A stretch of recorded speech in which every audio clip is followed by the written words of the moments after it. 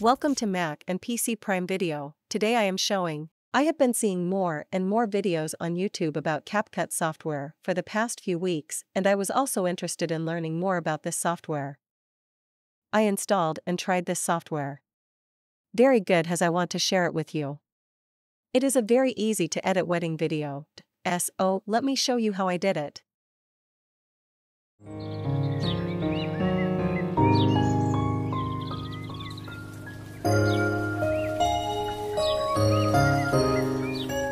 So CapCut is a free video editor for desktop or mobile. I downloaded it for my Mac. Going for is being a video editor for creators who are looking for something that doesn't have such a steep learning curve like Premiere Pro or Final Cut Pro. How you can enhance your face and body on Mac or PC. I'm not saying she needs it, but I'm just giving you an example on how you can do this for your videos. For instance, you're not wearing makeup on your video and you feel like you're not confident enough to post that without makeup. So we're just going to hit that enhanced button. You're going to take on the face and just going to zoom in a little bit here so you can see clearer. Here you can smoothen out the face, but she's already pretty, so I'm not going to do that. You can also brighten their face. You can whiten their teeth and you can also delete these my lines as well. You can also delete their dark circles. To add makeup, you're just going to check the facial beauty on. Here you can adjust the shape of it and also you can do it manually. If you scroll down a little bit, they'll show you makeup you have from these options. You can also add in eyelashes, for instance, if you don't want the rest of the makeup. You can also add in just the eyeshadow and not the eyelashes. You can also adjust the opacity of the makeup here. You can also add lipstick as well to it. Again, you can adjust the opacity of it. That is basically it. How you can add an animation, let me just, just the video a little bit. Okay. So, super simple. You're just going to click on the clip here for the animation and select an animation. For instance, you want to add in the swing bottom one. You can do that. If you want to add another animation to it, make sure you split the clip. For instance, I want to add in a combo animation in the middle. So I'm just going to split it here. And here, for instance, select the clip, go to combo, and choose the animation you want to add. For instance, like this one. You can also just a duration here too. And then on the last clip, I want to add in and out animation. So I'm just going to select out and I'm just going to choose like a zoom. Alright. And that can also adjust the duration.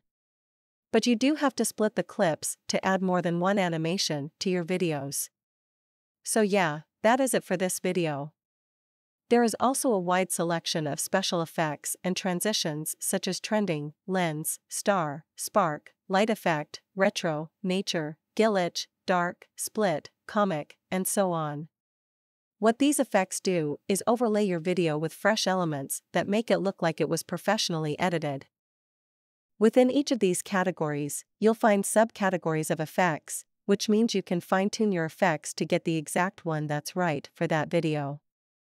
Another great effect you can try is the blending effect, which allows you to overlay a video on top of another so the subjects merge with each other in the final output. Here's a great example of the blending effect in use.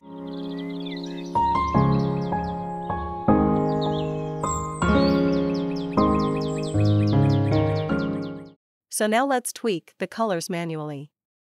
You can do that here. Select the clip first and then go to Adjustments here. In the Basic tab, you can do the basic adjustments. I want it to look a bit warmer so I get more of that sunset vibe. So temperature, I'll drag it towards yellow.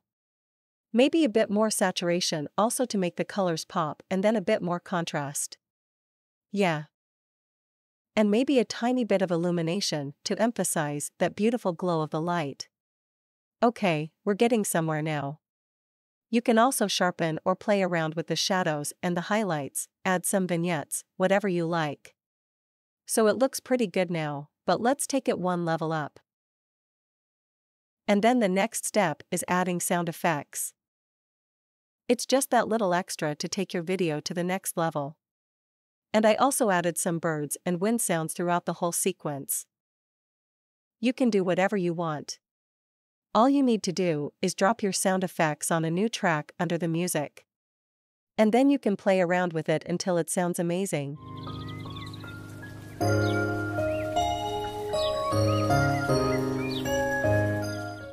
Don't forget to like, comment, share, and also subscribe to this channel if you haven't done that. If you have any questions, just leave it in the comment section down below and I will try my best to answer them all for you. Thank you so much for watching.